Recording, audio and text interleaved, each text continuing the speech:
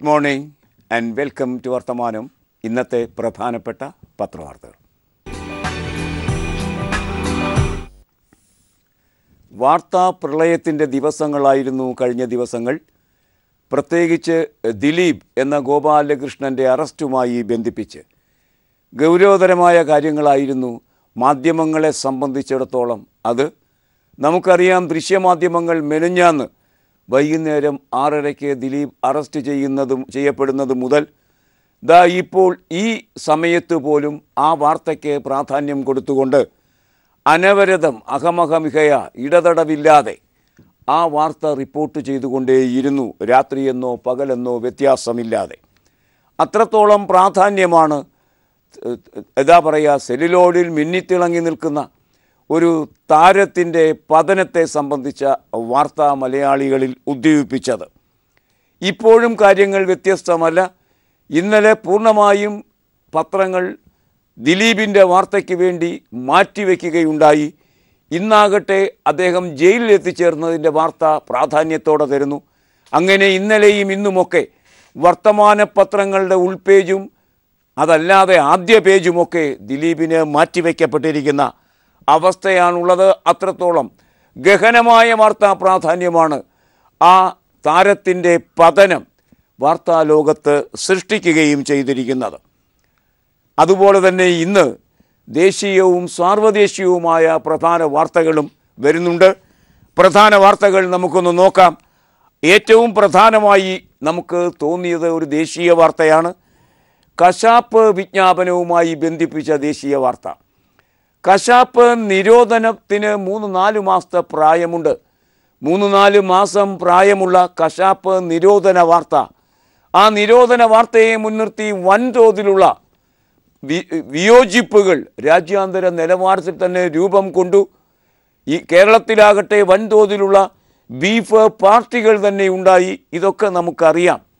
ചെറിയ പെരുന്നാളിന്റെ മുന്നോടിയായുള്ള വ്രത കാലഘട്ടത്തിന്റെ തലേ ദിവസം. അതാരംഭിക്കുന്നതിന് തലേ ദിവസമാണ് കശാപ്പ് നിരോധനത്തിന്റെ വിജ്ഞാപനം. ഒരു പഴയ നിയമത്തിന്റെ പശ്ചാത്തലത്തിൽ അവതരിപ്പിക്കപ്പെട്ടത്. വൻതോതിലുള്ള പ്രക്ഷോഭമായിരുന്നു അതിനെതിരെ ഉണ്ടായത്. അതുമാത്രമല്ല അതിനെ എതിർക്കുന്നവരെ എതിർക്കാൻ പാകത്തിലുള്ള കൊലപാതക സംഘങ്ങളും അഴിഞ്ഞാടി ഇന്ത്യയിൽ പ്രത്യേകിച്ച് ഉത്തരേന്ത്യയിൽ. അതായിരുന്നു സാഹചര്യം. ആ സാഹചര്യമൊക്കെ കഴിഞ്ഞു ബഹളങ്ങളൊക്കെ കഴിഞ്ഞു കുറേ ആൾക്കാർ ചത്തു.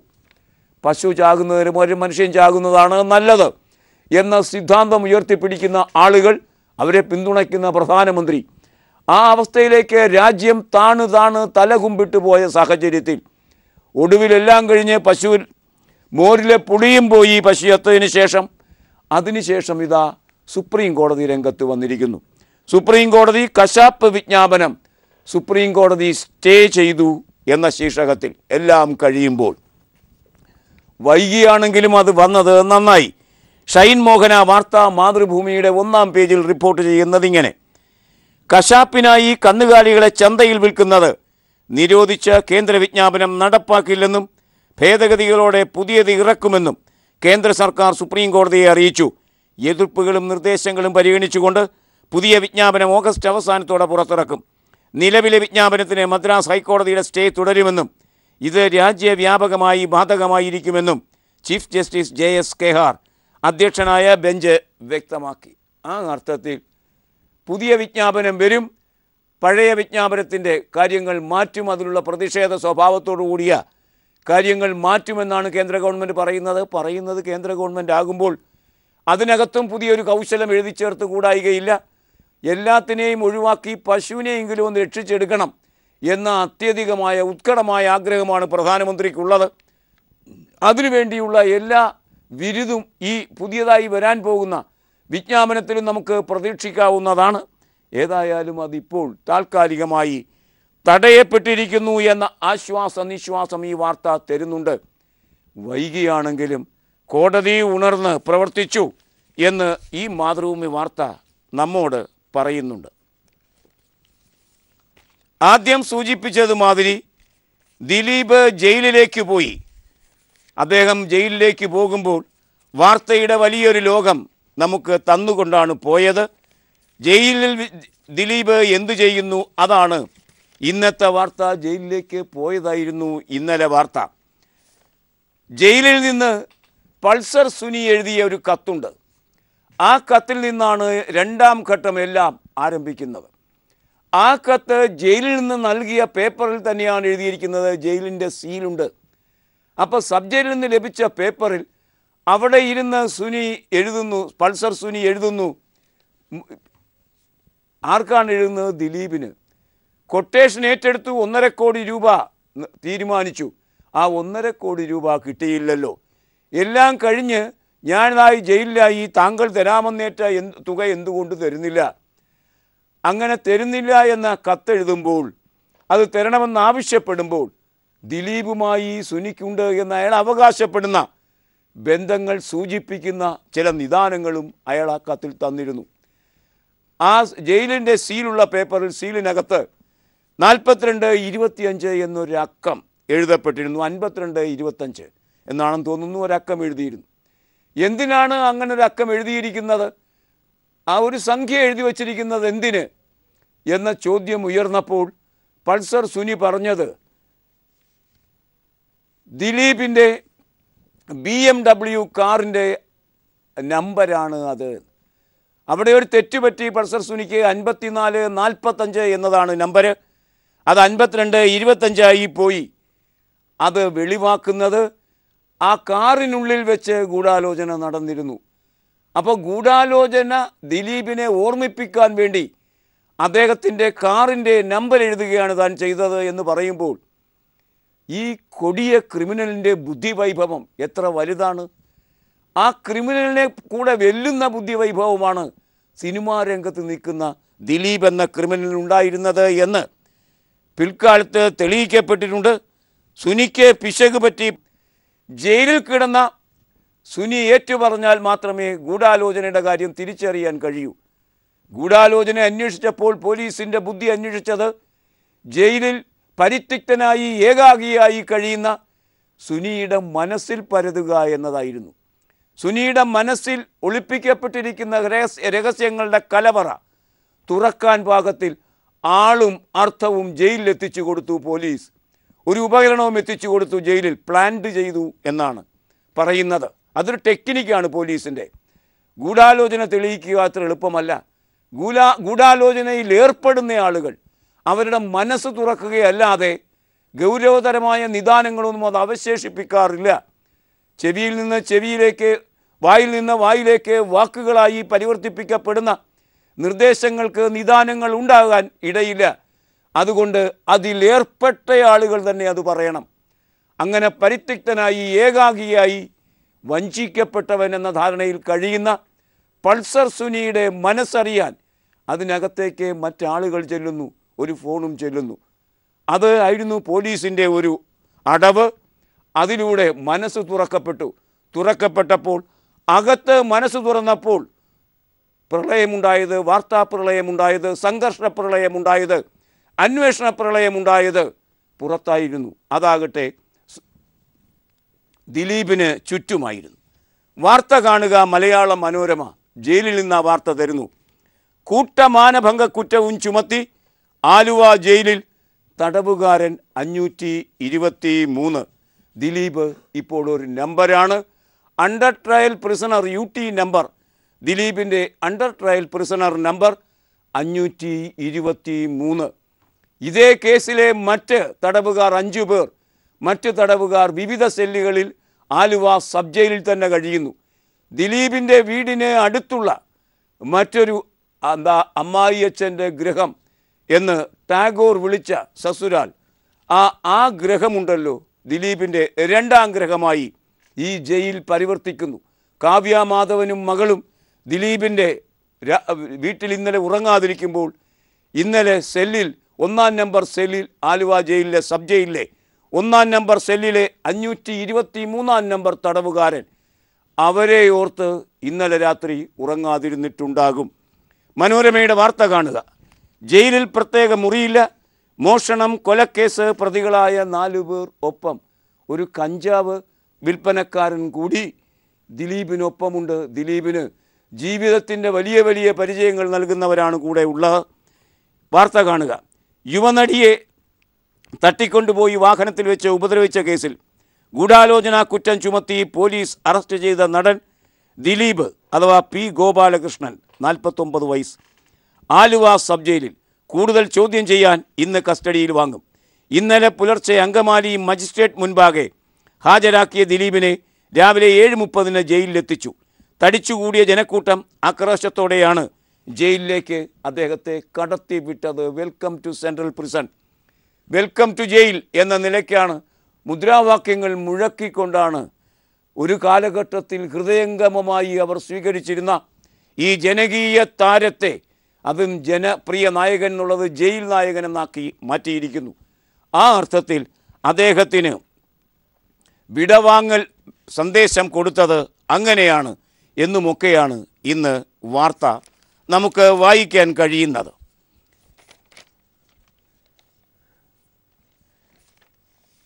വാർത്തകളുടെ ഒരു പ്രവാഹമുണ്ട് എന്ന് പറഞ്ഞുവല്ലോ. അതേ സംബന്ധിച്ച് പലതും പറയുമ്പോൾ ഇന്ന് പത്രലോകം തരുന്ന വിശിഷ്ടമായ ഒരു വാർത്ത ദിലീപുമായി ബന്ധിപ്പിച്ച് തരുന്ന വാർത്ത. ദിലീപിന് എല്ലാവരെയും കബളിപ്പിക്കാൻ ഒരു രഹസ്യ ഫോൺ ഉണ്ടായിരുന്നു. ആ രഹസ്യ ഫോൺ അദ്ദേഹം ഉപയോഗിച്ചത് സിനിമാക്കാരെ വിളിക്കാനല്ല സിനിമാ വ്യവസായത്തിലെ ആളുകളെ വിളിക്കാനല്ല അദ്ദേഹത്തിന്റെ മണ്ഡലവുമായി ബന്ധപ്പെട്ട ആളുകളെയല്ല അതിൽ വിളിക്കപ്പെട്ടിരിക്കുന്ന നമ്പർ ഹോൾഡേഴ്സ് അതും തീർന്നില്ല കുടുംബാംഗങ്ങളെ വിളിക്കാനല്ല ആ ഫോൺ ആ ഫോൺ വിളിക്കുന്നത് അദ്ദേഹം നടത്തിക്കൊണ്ടിരിക്കുന്ന അധോലോക വ്യാപാര ഗതി വിഗതികളെ നിയന്ത്രിക്കുന്ന ആളുകളെ വിളിക്കാനുള്ളതായിരുന്നു. അങ്ങനെയുള്ള ആ ഫോൺ കണ്ടെടുത്തതോടെയാണ് ഒരുപക്ഷെ രഹസ്യങ്ങളുടെ കലവറ തുറക്കപ്പെട്ടത് എന്നും വാർത്ത വന്നിരിക്കുന്നു. ഇന്ന് കൗതുകകരമായി തോന്നിയ ഒരു വാർത്ത എല്ലാവർക്കും ഇപ്പോൾ തന്നെ അറിയാവുന്ന ഒരു വാർത്ത. ജയിലിലേക്ക് അമ്മയുടെ ട്രഷറർ പോയപ്പോൾ ആ തക്കം നോക്കി അമ്മ എന്ന സംഘടന അത് അതിന്റെ പൂർവ ട്രഷററെ അടിസ്ഥാനതല അംഗത്വത്തിൽ നിന്ന് എടുത്തു മാറ്റി റദ്ദാക്കി അംഗത്വം റദ്ദാക്കി. അങ്ങനെയാണ് അതിന്റെ നേതാവ് ഇന്നലെ മാധ്യമപ്രവർത്തകരോട് പറഞ്ഞത്. തങ്ങളുടെ സ്വന്തം പുത്രനാണ് കൈയൊഴിയുന്ന പ്രശ്നമില്ല എന്നൊക്കെ നാല് ദിവസം മുമ്പ് പറഞ്ഞവരാണല്ലോ. അവരിന്നലെ പാടെ കൈയൊഴിഞ്ഞ് ഈ രക്തത്തിൽ ഞങ്ങൾക്ക് പങ്കില്ല എന്ന് പ്രഖ്യാപിച്ച് അവരുടെ ധാർമ്മികത വിളംബരം ചെയ്തു. അങ്ങനെ നമുക്ക് ആ വാക്ക് ഉപയോഗിക്കാമെങ്കിൽ സംഘടനയാണെങ്കിൽ ഇങ്ങനെ വേണം പെരുമാറാൻ. ഒരു സംഘടനയല്ല എല്ലാ സംഘടനകളും ദിലീപ് അംഗമായിരുന്ന സിനിമയുമായി ബന്ധിപ്പിച്ച എല്ലാ സംഘടനകളും ഒറ്റയടിക്ക് ദിലീപിനെ പുറത്താക്കി. പുറത്താക്കുന്നതിന് ചില ചിട്ടവട്ടങ്ങളൊക്കെ ഉണ്ട് ഒരാളെ. ദിലീപ് അമ്മ എന്ന സംഘടനയുടെ ട്രഷററായിരുന്നു ഖജാൻജി. ട്രഷറർ അല്ല ട്രഷറി തന്നെയായിരുന്നു. അതിന്റെ ഖജനാവ് തന്നെയായിരുന്നു. അത്ര പ്രധാനപ്പെട്ട ഒരാളെ പത്രക്കാർ ബഹളം വെച്ചപ്പോഴും തള്ളിക്കളയാൻ തയ്യാറാകാതിരുന്ന രീതിയിൽ വളരെ പ്രധാനപ്പെട്ട ഒരാളെ ഒരക്ഷരം പറയാതെ അങ്ങേയറ്റം നിശബ്ദമായി അയാളെ കേൾക്കാൻ പോലും മെനക്കെടാതെ ഭരണഘടനാ വിരുദ്ധമായി എന്ന് വേണം പറയാൻ എല്ലാ സംഘടനകളും ഒറ്റയടിക്ക് പുറത്താക്കി. സത്യത്തിൽ ദിലീപ് മാത്രമല്ല ആ സംഘടന തന്നെ ഒരുപക്ഷെ അദ്ദേഹം പ്രതിദാനം ചെയ്യുന്ന ഒരു നിലവാരത്തിൽ നമുക്ക് അംഗീകരിക്കാൻ കഴിയാത്ത ഏകാധിപത്യ സ്വഭാവത്തോടു കൂടിയ ആശയങ്ങൾ പങ്കിടുന്നവരാണോ എന്ന സന്ദേഹമുണ്ടാകും. വാർത്ത കാണുക. മകളോട് ക്രൂരത കാട്ടിയ മകനെ അമ്മയ്ക്ക് വേണ്ട. എല്ലാ സിനിമാ സംഘടനകളും ദിലീപിനെ പുറത്താക്കി. അഴിക്കുള്ളിലായ നടൻ ദിലീപിനെ താരസംഘടനയായ അമ്മ ഉൾപ്പെടെയുള്ള എല്ലാ സിനിമാ സംഘടനകളും കൈയൊഴിഞ്ഞു. അങ്ങനെ കൈയൊഴിയുമ്പോൾ എല്ലാ സംഘടനകളും എന്ന് പറയുമ്പം അമ്മ എന്ന അഭിനേതാക്കളുടെ സംഘടന നിർമ്മാതാക്കളുടെ അസോസിയേഷൻ ഫെഫ്ക എന്ന സംഘടന പിന്നെ തിയേറ്റർ ഓണേഴ്സിന്റെ ദിലീപ് തന്നെ ഉണ്ടാക്കി. അദ്ദേഹം തന്നെ പ്രസിഡന്റായ ഫിയോക്ക് എന്ന സംഘടനയും അടുത്തിടെ ഉണ്ടാക്കിയ സംഘടനയാണ്. ആ സംഘടനയും ദിലീപിനെ പുറത്താക്കി. ഇത്തരം സംഘടനകൾ പ്രവർത്തിക്കുന്നത് ഭരണഘടന വെച്ചാണ്. ഭരണഘടനയിൽ ഒരു രംഗത്തിന് എതിരെയുള്ള നടപടികൾ ശിക്ഷണ നടപടികൾ എടുക്കുന്നതിന് പ്രത്യേക വകുപ്പുണ്ടാകും പ്രത്യേകമായ ഭാഗമുണ്ടാകും എഴുതി വച്ചിട്ടുണ്ടാകും. അതനുസരിച്ച് വേണം അതെടുക്കാൻ എന്നൊക്കെയാണ് നാം പഠിപ്പിക്കപ്പെട്ടിരിക്കുന്നത്. അതാണ് കോൺസ്റ്റിറ്റ്യൂഷണലായ മാർഗം അതാണ് ഭരണഘടനാപരമായ മാർഗം. അങ്ങനെ വരുമ്പോൾ ഒരു നടൻ ഒരു ഗൗരവതരമായ ക്രിമിനൽ കേസ് പെട്ട് ജയിലിലായാൽ എന്താണ് ചെയ്യേണ്ടത്? സാധാരണഗതിയിൽ അയാളെ കേൾക്കാതെ പുറത്താക്കാൻ കഴിയാതിരിക്കുമ്പോൾ എന്താണ് ചെയ്യാൻ കഴിയുക? പിന്നെ സത്യത്തിൽ പിന്നെ ചെയ്യാൻ കഴിയുന്നത് സസ്പെൻഡ് ചെയ്യുക എന്നതാണ്. അതുമാത്രമേ ചെയ്യാൻ കഴിയുള്ളൂ. അയാൾ അയാൾക്ക് പറയാനുള്ളത് പറയുന്നത് വരെ കാത്തിരിക്കുകയേ നിർവാഹമുള്ളൂ. പക്ഷേ ഈ സംഘടനയ്ക്ക് അങ്ങനൊന്നുമില്ല.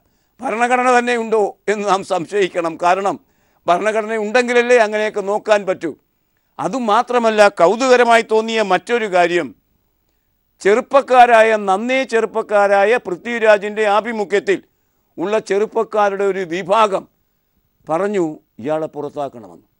മലയാള മനോരമ ഇന്നലെ നിരീക്ഷിച്ചത് ദിലീപിനെ വൈകാതെ സസ്പെൻഡ് ചെയ്യും എന്നാണ്. പുറത്താക്കാൻ കഴിയില്ല എന്ന് അവർക്കും അറിയാം. സസ്പെൻഡ് ചെയ്യും എന്നാണ് അവർ നിരീക്ഷിച്ചത് പത്രത്തിലെ ഒന്നാം പേജിലൂടെ. ഇന്ന് അതൊന്നും പൃഥ്വിരാജിന് ബാധകമല്ല. അവരെല്ലാം നിർബന്ധിച്ചു. അയാളെ പുറത്താക്കിയിട്ട് മാത്രം ചർച്ച എന്നാണ് നിർദ്ദേശിച്ചത്രേ. എന്ത് വിവരം കാര്യങ്ങളെക്കുറിച്ച്? അപ്പോൾ മറ്റുള്ള ആൾക്കാർ പറഞ്ഞു അങ്ങനെ പെട്ടെന്ന് പുറത്താക്കുന്നത് ശരിയല്ല എന്ന് പറഞ്ഞപ്പോൾ ഇവർ ഷാഠ്യം പിടിച്ചു അത്രേ ആദ്യം പുറത്താക്കുക അതിനുശേഷം ചർച്ച. പുറത്താക്കാൻ കഴിയില്ല എന്ന നീ പ്രാഥമിക യാഥാർത്ഥ്യം പോലും അറിയാത്ത ആൾക്കാരാണ് പണത്തിന് പിന്നിൽ വെമ്പിക്കുതിക്കുന്ന ഈ അഭിനേതാക്കൾ എന്നറിയുമ്പോൾ അത് അങ്ങേയറ്റം കഷ്ടം നിറഞ്ഞ ഒരറിവായി തീരുന്നു. ആ വാർത്ത ജന്മഭൂമി തരുന്നു ഒന്നാം പുറത്ത്. യുവതാരങ്ങളുടെ സമ്മർദ്ദത്തിന് അമ്മ കീഴടങ്ങി. ആദ്യം ദിലീപിന് മുന്നിൽ അമ്മ കീഴടങ്ങി. ഇപ്പോഴിതാ യുവതാരങ്ങളുടെ സമ്മർദ്ദത്തിന്. എന്തായാലും അമ്മ കീഴടങ്ങും. അതും അവിവേകത്തിന്റെ മുന്നിൽ അറിവില്ലായ്മയുടെ മുന്നിൽ കീഴടങ്ങും. വാർത്ത ഇങ്ങനെ. നടിയെ ആക്രമിച്ച കേസിൽ അറസ്റ്റിലായ നടൻ ദിലീപിനെ താരസംഘടനയായ അമ്മ പുറത്താക്കി. സംഘടനയുടെ ട്രഷറർ സ്ഥാനത്ത് നിന്നും പ്രാഥമിക അംഗത്വത്തിൽ നിന്നുമാണ് ദിലീപിനെ നീക്കിയത്. നടൻ മമ്മൂട്ടിയുടെ കൊച്ചിയിലെ വീട്ടിൽ ഇന്നലെ ചേർന്ന അമ്മയുടെ എക്സിക്യൂട്ടീവ് യോഗത്തിന്റെതാണ് തീരുമാനം. അമ്മയുടെ ഭരണഘടന അനുസരിച്ച് ദിലീപിനെ പെട്ടെന്ന് പുറത്താക്കാൻ കഴിയില്ലെന്ന് യോഗത്തിൽ അഭിപ്രായമുറന്നെങ്കിലും യുവതാരങ്ങളായ പൃഥ്വിരാജ് ആസിഫ് അലി രമ്യ നമ്പീശൻ ഉൾപ്പെടെയുള്ളവർ എതിർത്തതായാണ് സൂചന. ആദ്യം പുറത്താക്കൽ പിന്നീട് ഭരണഘടന നോക്കാം എന്നായിരുന്നു അവരുടെ നിലപാട്. ഏതായാലും മുതിർന്ന ആളുകൾക്ക് ഈ കാര്യത്തിലെക്കുറിച്ച് ഗൗരവതരമായ വിവരങ്ങളൊന്നുമില്ല എന്ന് കഴിഞ്ഞ ദിവസത്തെ അമ്മയുടെ പൊതുയോഗത്തിൽ വ്യക്തമായെങ്കിൽ പുതിയ ആൾക്കാർക്കും അതേ സംബന്ധിച്ച് ഗൗരവതരമായ വിവരമൊന്നും ഇല്ല എന്ന അനുമാനത്തിലേക്കാണ് ഈ വാർത്തകളൊക്കെ എത്തിക്കുന്നത്. ദിലീപ് പോയാലും അതങ്ങോട്ട് രക്ഷപ്പെടുമോ എന്ന കാര്യത്തിൽ സംശയമുണ്ട് എന്നാണ് പറയേണ്ടി വരുന്നത്. ഇന്ന് പത്രലോകം തരുന്ന പ്രധാനപ്പെട്ട മറ്റൊരു വാർത്ത. ഗോപാൽ കൃഷ്ണ ഗാന്ധി പ്രതിപക്ഷങ്ങളുടെ സംയുക്ത സ്ഥാനാർത്ഥിയായി മാറുന്നു. ആ വാർത്തയുടെ വിശദാംശങ്ങളിലേക്ക് പോകാം. ഒരു ചെറിയ പരസ്യ ഇടവേളയ്ക്ക് ശേഷം. ഗോപാൽ കൃഷ്ണ ഗാന്ധി ഗാന്ധി കുടുംബത്തിലെ ആൾ. പുതിയ ഉപരാഷ്ട്രപതി സ്ഥാനാർത്ഥിയായി സംയുക്ത പ്രതിപക്ഷം തീരുമാനിച്ച വാർത്ത. ദീപിക ഒന്നാം പുറത്ത് സചിത്രമായി തരുന്നു വാർത്ത ഇങ്ങനെ. ഉപരാഷ്ട്രപതി തെരഞ്ഞെടുപ്പിൽ ഭൂരിപക്ഷ സ്ഥാനാർത്ഥിയായി മഹാത്മാഗാന്ധിയുടെ ചെറുമകനും പശ്ചിമബംഗാൾ മുൻ ഗവർണറുമായ ഗോപാലകൃഷ്ണ ഗാന്ധിയെ പ്രഖ്യാപിച്ചു. അതാണ് വാർത്ത. സത്യത്തിൽ രാഷ്ട്രപതി സ്ഥാനത്തേക്ക് പ്രതിപക്ഷം കണ്ടിരുന്ന സ്ഥാനാർത്ഥിയായിരുന്നു ഗോപാലകൃഷ്ണ ഗാന്ധി. ഗാന്ധി വേഴ്സസ് ഗോഡ്സെ ഗാന്ധിയും ഗോഡ്സെയും തമ്മിലുള്ള മത്സരം എന്ന നിലയ്ക്ക് രാഷ്ട്രീയമായത് പ്രഖ്യാപിക്കാനായിരുന്നു ഇടതുപക്ഷത്തിന്റെ നേതാവ് യെച്ചൂരി ആഗ്രഹിച്ചത്. പക്ഷേ അത് കഴിയാതെ പോയത് മോദിയുടെ അതിതന്ത്രമായിരുന്നു. അദ്ദേഹം ഇതൊക്കെ മുൻകൂട്ടി കണ്ട് ഒരു ദളിതനെ സ്ഥാനാർത്ഥിയാക്കി. അപ്പോൾ സ്വാഭാവികമായിട്ടും ഗോപാൽ കൃഷ്ണ ഗാന്ധിക്ക് വരാനാവില്ല. അങ്ങനെ ഗാന്ധി വേഴ്സസ് ഗോഡ്സ് എന്ന മുദ്രാവാക്യത്തിന് നിലനിൽക്കാനാകില്ല. എങ്കിലും ഉപരാഷ്ട്രപതി സ്ഥാനത്തേക്ക് അദ്ദേഹം വന്നു. ഉപരാഷ്ട്രപതി സ്ഥാനത്തേക്ക് എം പിമാർ മാത്രം തിരഞ്ഞെടുപ്പ് നട വോട്ട് ചെയ്യുന്നതുകൊണ്ട് ബി ജെ പിയുടെ സ്ഥാനാർത്ഥി ആരായാലും ജയിക്കും എന്ന് ഉറപ്പാണെങ്കിലും ഈ സംയുക്ത പ്രതിപക്ഷ ഐക്യം അത് തുടർന്നും കൂടി പ്രക്ഷോഭ പരിപാടികൾക്ക് രൂപം കൊടുക്കണമെന്ന ആവശ്യം കൂടി ഉയർന്നു വന്നിരിക്കുന്നു. അതാണ് അതിന്റെ സവിശേഷത. കോഴിയുടെ വില ഇന്ന് മുതൽ എത്രയായിരിക്കും? എൺപത്തിയേഴ് രൂപയ്ക്ക് മുകളിൽ കോഴിക്ക് വില തരില്ല. ഒരു കിലോ കോഴിക്ക് വില തരില്ല. കോഴി ഇറച്ചിയല്ല. കോഴിക്ക് വില തരില്ല എന്ന് ധനമന്ത്രി പറഞ്ഞു. ധനമന്ത്രി വരച്ച വരയിൽ കോഴിക്കച്ചവടക്കാർ എത്തി. കാണുക വാർത്ത. ദേശാഭ ദേശാഭിമാനിയുടെ ഒന്നാം പുറം. സമരം ഒത്തുതീർന്നു. കോഴിക്ക് എൺപത്തിയേഴ് രൂപ. സംസ്ഥാനത്ത് സർക്കാർ നിശ്ചയിച്ച വിലയിൽ കോഴി വിൽക്കാൻ തീരുമാനമായി. ധനമന്ത്രി തോമസ് ഐസക്കുമായി കോഴി വ്യാപാരി സംഘടനാ പ്രതിനിധികൾ കോഴിക്കോട് നടത്തിയ ചർച്ചയിലാണ് തീരുമാനം. ഇതോടെ വ്യാപാരികൾ രണ്ട് ദിവസമായി നടത്തി വന്ന സമരം അവസാനിപ്പിച്ചു എന്നാണ് ദേശാഭിമാനി പറയുന്നത്. മറ്റു പത്രങ്ങൾ ഇതേ വാർത്ത റിപ്പോർട്ട് ചെയ്യുമ്പോൾ എൺപത്തിയേഴ് രൂപയ്ക്കൊന്നും ഞങ്ങൾ കൊടുക്കാൻ പോകുന്നില്ല. ഒരു എന്ന ഒരു വിഭാഗം തീരുമാനമെടുത്തു. ഇനി അക്കാര്യത്തിൽ തർക്കമുണ്ടെങ്കിൽ ആളുകൾ ബഹളമുണ്ടാക്കുകയാണെങ്കിൽ ഞങ്ങൾ പോലീസിൽ പരാതിപ്പെടും എന്നുവരെ അവർ പറഞ്ഞിട്ടുണ്ടെങ്കിലും കർശന നിലപാടെടുത്ത ധനമന്ത്രിയുടെ മുന്നിൽ മുട്ടുമടക്കുക തന്നെയാണ് കോഴി കച്ചവടക്കാർ എന്ന് ഈ വാർത്ത വ്യക്തമാക്കുന്നു. ഐ എസ് നേതാവ് ബാഗ്ദാദി കൊല്ലപ്പെട്ടു എന്ന വാർത്തയാണ് ഇന്ന് പത്രലോകം തരുന്ന പ്രധാനപ്പെട്ട വാർത്ത. അത്തരത്തിലുള്ള വാർത്ത ബാഗ്ദാദി കൊല്ലപ്പെട്ട വാർത്ത ഇതിനു മുമ്പ് പലതവണ വന്നതാണ്. അതുകൊണ്ട് ഇത് എത്രത്തോളം വിശ്വാസയോഗ്യമാണെന്നറിയില്ല. പക്ഷേ കൂടുതൽ വിശ്വാസയോഗ്യമായ നിദാനങ്ങൾ ഈ വാർത്തയിൽ ഇത്തവണ പത്രം തന്നിട്ടുണ്ട്. മംഗളം എന്ന പത്രം ഒന്നാം പുറത്താണ് ആ കൊലപാതക വാർത്ത നമുക്ക് തരുന്നത്. ആ വാർത്തയിലേക്ക് സഞ്ചരിക്കാം. മറ്റൊരു ചെറിയ പരസ്യ ഇടവേളയ്ക്ക് ശേഷം. ഐ എസ് മേധാവി ബാഗ്ദാദി കൊല്ലപ്പെട്ട വാർത്ത. മംഗളം ഒന്നാം പേജിൽ തരുന്നു കാണുക. ഐ എസ് മേധാവി അബൂബക്കർ അൽ ബാഗ്ദാദി കൊല്ലപ്പെട്ടതായി റിപ്പോർട്ട്. സിറിയയിലെ ബ്രിട്ടീഷ് മനുഷ്യാവകാശ നിരീക്ഷണ ഗ്രൂപ്പ് ഡയറക്ടർ റാമി അബ്ദുൾ റഹ്മാനെ ഉദ്ധരിച്ച് റോയിട്ടേഴ്സ് വാർത്താ ഏജൻസിയാണ് ബാഗ്ദാദിയുടെ മരണം പുറത്തുവിട്ടത്. ഐ എസിലെ മുതിർന്ന നേതാക്കൾ മരണം സ്ഥിരീകരിച്ചതായി റാമി അബ്ദുൾ റഹ്മാൻ അറിയിച്ചിരിക്കുന്നു എന്നും ഈ വാർത്തയിൽ മംഗളം പറയുന്നുണ്ട്. മുൻഘട്ട മുൻകാലങ്ങളിൽ പറഞ്ഞതുമാതിരി പലപ്പോഴും പല ഉരു ഈ ഇദ്ദേഹത്തിന്റെ മരണവാർത്ത പത്രങ്ങൾ റിപ്പോർട്ട് ചെയ്തതാണ്. അതുപോലെ സംഭവിക്കും എന്ന് പ്രതീക്ഷിക്കാനാകില്ല കാരണം കുറേ കൂടി തെളിവുകൾ ഈ കാര്യത്തിൽ നമുക്ക് ലഭിച്ചിട്ടുണ്ട്. മംഗളം എന്ന പത്രം ഇന്ന് ഒന്നാം പുറത്ത് വളരെ ഗൗരവതരമായ മറ്റൊരു വാർത്ത തന്നിരിക്കുന്നു. ആ വാർത്ത നടിയെ തട്ടിക്കൊണ്ടുപോയി ആക്രമിച്ച കേസുമായി ബന്ധിപ്പിച്ച് അന്വേഷണം പോലീസുകാർ രാഷ്ട്രീയക്കാരിലേക്ക് നീക്കുന്നു എന്നതാണ്. അത് സാധാരണഗതിയിൽ പൾസർ സുനിയുടെ നേതൃത്വത്തിലുള്ള അതിന്റെ ഉപകരണ സംഘം ഒപ്പം തന്നെ അതിന്റെ ഗൂഢാലോചനാവശം ദിലീപുമായി ബന്ധിപ്പിച്ച് എല്ലാവരും അറസ്റ്റിലായി കഴിഞ്ഞിരിക്കുന്നു. അത് ഗൗരവതരമായൊരു വിജയമായി എല്ലാവരും പോലീസിന്റെ വൻ വിജയമായി. ഒരുപക്ഷേ സ്ത്രീപീഡനവുമായി ബന്ധിപ്പിച്ച് അധികാരത്തിൽ വന്ന പോലീസിന് സ്ത്രീപീഡനത്തിൽ ഒന്നും ചെയ്യാൻ കഴിയുന്നില്ല.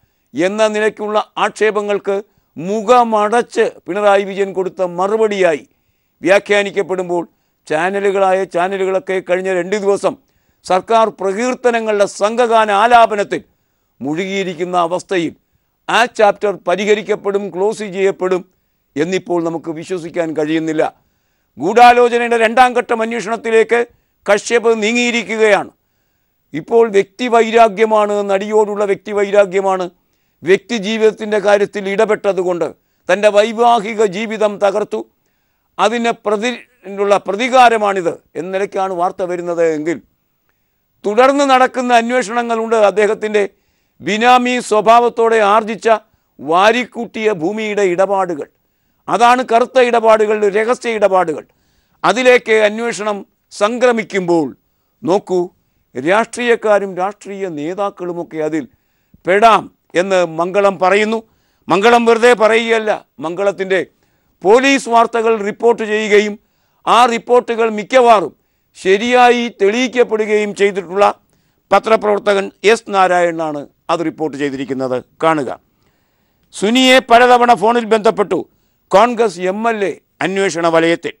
അന്വേഷണ സംഘത്തിന് പോലീസ് മെഡൽ. തൊണ്ണൂറ് ദിവസത്തിനുള്ളിൽ കുറ്റപത്രം നൽകും. ബെഹ്റയുടെ ചോദ്യത്തിന് മുന്നിൽ ദിലീപ് മുട്ടുമടക്കി. എല്ലാ കാര്യങ്ങളും പറയുമ്പോൾ പ്രധാനം കോൺഗ്രസ് എം എൽ എ അന്വേഷണ വലയത്തിലാണ്. കോൺഗ്രസ് എം എൽ എ ആകട്ടെ മറ്റൊരു പ്രധാന കോൺഗ്രസ് നേതാവിന് വേണ്ടിയാണ് എല്ലാം ചെയ്തത്. പൾസർ സുനിയുടെ ഫോണിലേക്ക് പലവരും അദ്ദേഹം ബന്ധപ്പെട്ടിരിക്കുന്നു. എന്നുകൂടി വാർത്ത വന്നിരിക്കുന്നു. വാർത്ത ഇങ്ങനെ. നടിയെ ആക്രമിച്ച കേസിൽ നടൻ ദിലീപിന്റെ അറസ്റ്റുമായി ബന്ധപ്പെടുത്തി പ്രമുഖ കോൺഗ്രസ് എം എൽ എയിൽ നിന്ന് പ്രത്യേക സംഘം മൊഴിയെടുക്കും. നിരന്തരമായി കേസിലെ ഒന്നാം പ്രതി പൾസർ സുനിയുമായി ഫോണിൽ ബന്ധപ്പെട്ടിരുന്നു ഇദ്ദേഹം. സ്വന്തം ഫോൺ ഉപയോഗിക്കാതെ മറ്റുള്ളവരുടെ ഫോണിലൂടെയാണ് സുനി എം എൽ എ വിളിച്ചത് എന്നും അന്വേഷണ സംഘം സൂചന നൽകിയിരിക്കുന്നു. പൾസർ സുനിയുടെ മൊഴിയിൽ ഇതേ സംബന്ധിച്ച വിശദാംശങ്ങൾ പോലീസിന് ലഭിച്ചു എന്നുകൂടി എസ് നാരായണൻ ഈ വാർത്തയിൽ പറയുന്നു. അതുകൊണ്ട് ഇപ്പോൾ സംഭവിച്ചിരിക്കുന്ന അറസ്റ്റുകൾക്ക് ശേഷവും തുടർ വാർത്തകളുടെ വലിയ പ്രഭവ കേന്ദ്രമായി തന്നെ ഈ വാർത്ത നിലനിൽക്കും. എന്ന് വേണം അനുമാനിക്കാൻ. ഇന്ന് പത്രലോകം തരുന്ന ആശ്വാസദായകമായ ഒരു വാർത്ത. അമ്പലപ്പുഴയിൽ ഒരു മുസ്ലിം സ്ത്രീയും ഒരു നമ്പൂതിരി സ്ത്രീയും ഒന്നിച്ച് ജീവിക്കുന്ന കഥ പല ഒരു നാം കേട്ടതാണ്.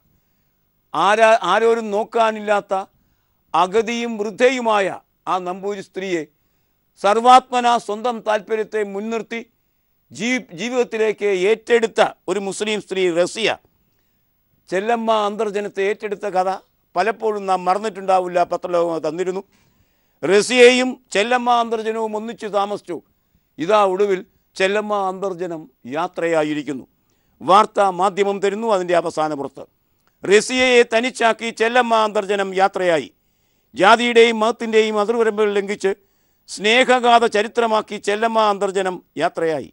മരണത്തിന്റെ വക്കിൽ നിന്ന് ജീവിതത്തിലേക്ക് തിരികെ കൊണ്ടുവരികയും സ്വന്തം അമ്മയെപ്പോലെ നോക്കുകയും ചെയ്ത റസിയയെ ഒറ്റയ്ക്കാക്കിയാണ് ചെല്ലമ്മ വിട വാങ്ങിയത് ഇതിനിടയിൽ.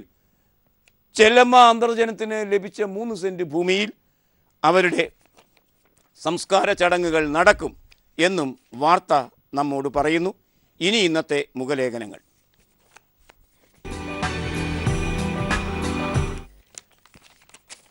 ദിലീപ് എന്ന നടൻ നടൻ ജയിലിലാകുമ്പോൾ അദ്ദേഹം അവശേഷിപ്പിക്കുന്ന ഒരു സിനിമാ ലോകമുണ്ട്. ഒരു വിലാപഗാനം മാതിരി നമ്മുടെ സിനിമാ ലോകം പകച്ചു നിൽക്കുന്ന സമയത്ത് ദിലീപ് അവശേഷിപ്പിച്ച ഉച്ചിഷ്ടങ്ങളുണ്ടല്ലോ. നമുക്ക് അവമതിയുണ്ടാക്കുന്ന കാര്യങ്ങൾ. ആ കാര്യങ്ങളെ മുൻനിർത്തി മലയാള സിനിമയിൽ നടക്കുന്ന ആത്മഹത്യ അല്ലെങ്കിൽ ആത്മഹത്യ ചെയ്യുന്ന മലയാള സിനിമയെക്കുറിച്ച് ജി പി രാമചന്ദ്രൻ ഇന്നൊരു ലേഖനം സിറാജ് എന്ന പത്രത്തിൽ എഴുതിയിരിക്കുന്നു. ആ രംഗത്ത് നടക്കുന്ന ഗതിവിഗതികളെ മനോഹരമായി ആവിഷ്കരിച്ചിരിക്കുന്നു ഈ ലേഖനം. സിനിമ ലാഭമായാലും നഷ്ടമായാലും സൂപ്പർ താരത്തിന്റെ കണക്കിൽ കോടികൾ കുമിഞ്ഞുകൂടുക എന്നതാണ് മലയാള സിനിമയിലെ സാമ്പത്തിക വിനിമയക്രമം.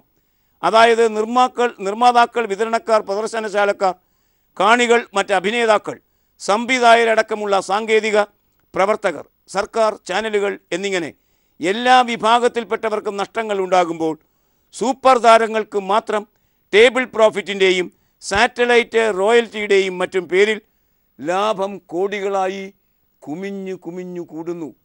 അങ്ങനെ കുമിഞ്ഞു കൂടുമ്പോൾ പണം കുമിയുമ്പോൾ എന്തൊക്കെയാണ്? പണം തലയ്ക്ക് മേൽ വരുമ്പോൾ എന്തൊക്കെയാണ് വരിക? സൂപ്പർ താരങ്ങളുടെ കണക്കിൽ സമാഹരിക്കപ്പെടുന്ന പണം റിയൽ എസ്റ്റേറ്റ് മാഫിയ മേഖലകളിലേക്ക് പടർത്തി വിടുകയാണ് അവർ ചെയ്യുന്നത്. അത് സംരക്ഷിക്കാനും അതിനുവേണ്ടി എന്ത് നെറുകേട് കാണിക്കാനും കാണിക്കുന്നതിനും ആവശ്യമുള്ള ഗുണ്ടകളെ പോറ്റി വളർത്തുകയും ചെയ്യുന്നു. അത്തരത്തിലുള്ളൊരു കൊട്ടേഷൻ ഗുണ്ടയാണ് നടിയെ ആക്രമിച്ച് കീഴ്പ്പെടുത്തിയത്. മുൻനിര നടികൾ മുതൽ എക്സ്ട്രാ നടികൾ വരെ വ്യാപകമായി ലൈംഗിക ചൂഷണത്തിന് വിധേയരാകാറുണ്ട് എന്നത് നാട്ടിലെ പാട്ടാണ്. ഇത്തരത്തിൽ ചൂഷണ വിധേയരാകുന്ന സ്ത്രീകളെ മോശം സ്ത്രീകൾ എന്നാണ് ഇന്നസെന്റ് വിശേഷിപ്പിക്കുന്നത്. നിഷ്ഠൂരമായി ആക്രമിക്കപ്പെട്ട നടിയോട് ഐക്യദാർഢ്യം പ്രകടിപ്പിക്കുന്നതിന് പകരം കൊട്ടേഷൻ കൊടുത്ത നടനോട് വിധേയത്വം കാണിക്കുകയാണ് അമ്മ ചെയ്തിരിക്കുന്നത്. കനയ്യകുമാറിനെ അധിക്ഷേപിച്ച് ബ്ലോഗ് എഴുതിയ മോഹൻലാൽ സ്വന്തം പ്രവർത്തന മേഖലയിൽ നടന്ന കൊടും അക്രമത്തെ ന്യായീകരിക്കുന്നതിന് ന്യായീകരിക്കുന്നതിന് എന്ന് സംശയിക്കണം. ഇപ്പോൾ ബ്ലോഗ് എഴുത്ത് തന്നെ നിർത്തിവെച്ചിരിക്കുകയാണ് മോഹൻലാൽ എന്നും ജി പി രാമേന്ദ്രൻ ഈ ലേഖനത്തിൽ പറയുന്നു. ഇനി ഇന്നത്തെ ചിത്രം. തിരുവനന്തപുരം ആശാൻ സ്ക്വയറിൽ കുമാരനാശാന്റെ ഒരു പ്രതിമയുണ്ട്. ആ പ്രതിമ ഇപ്പോൾ വെള്ളി പെയിന്റ് അടിച്ച് നാമാവശേഷമാക്കിയിരിക്കുകയാണ്. ഈ ചിത്രം കാണുക. ഇത് നവീകരണത്തിന്റെ ഭാഗമായി വെള്ളിയടിച്ച ആശാൻ പ്രതിമയാണ് നിങ്ങൾ കാണുന്നത്. പ്രതിമയുടെ ത്രിമാന രൂപം വ്യക്തമാക്കാൻ വെള്ളി സ്വർണ നിറം പാടില്ല എന്ന് എതിർപ്പുയർന്നു വന്നിരിക്കുന്നു. നമുക്കറിയാം നാരായണ ഗുരുസ്വാമികളുടെ പ്രതിമകൾ മഞ്ഞ പെയിന്റ് അടിച്ച് നിർത്തുമ്പോൾ എത്രത്തോളം അത് അരോചകമാണ്. കറുത്ത നിറം തന്നെയാണ് ത്രിമാനം വ്യക്തമാക്കാൻ പറ്റിയ കാര്യം. അതിനെ വിട്ട് വെള്ളി നിറത്തിലേക്ക് സഞ്ചരിക്കുമ്പോൾ അതിനെതിരെ എതിർപ്പും വന്നിരിക്കുന്നു. ഈ പ്രതിമാ ചിത്രം മെട്രോ മനോരമയാണ് നമുക്ക് തരുന്നത്. ഈ ചിത്രത്തോട് ഇന്നത്തെ വർത്തമാനം സമാപിക്കുകയാണ്. Have a nice day goodbye